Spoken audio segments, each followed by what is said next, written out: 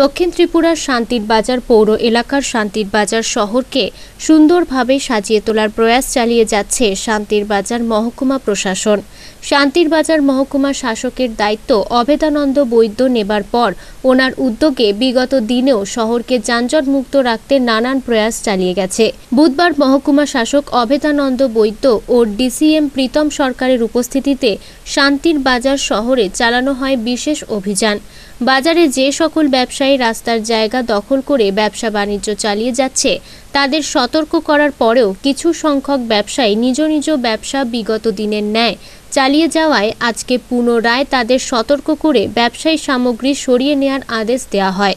তার পাশাপাশি শহরের দুটি জায়গায় অস্থায়ীভাবে অটো রাখার ব্যবস্থা করা হয়।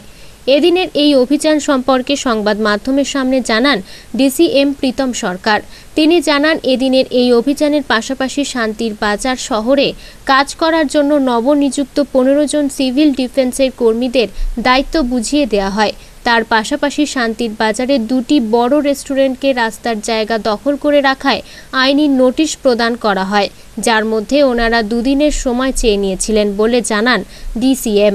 শান্তির বাজার মহকুমা শাসকের এই ধরনের উদ্যোগকে সকলে সাধুবাদ জানিয়েছেন। দেখতে পারবেন যে অনেকগুলো দোকান ওদের ছাউনিটা নয়নজলির উপর বাড়িয়ে রাখা হয়েছে। ওদের বারবালি আমরা বলেছি, বারবালি বলার পরে ওরা অলরেডি ছাউনি সরে নিয়ে, সরিয়ে নিয়েছিল। কিন্তু তারপরেও দেখা গেছে যে কিছু কিছু বড় বড় কাপড়ের দোকানগুলো, তারা ছাউনি সরিয়েছে কিন্তু কাপড় এখনও রাস্তায়। ওদের নোটিশ দেওয়া হবে।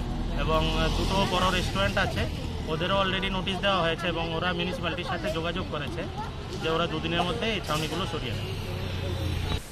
দক্ষিণ ত্রিপুরা থেকে বিশ্বেশ্বর মজুমদারের রিপোর্ট, আনন্দ বার্তা।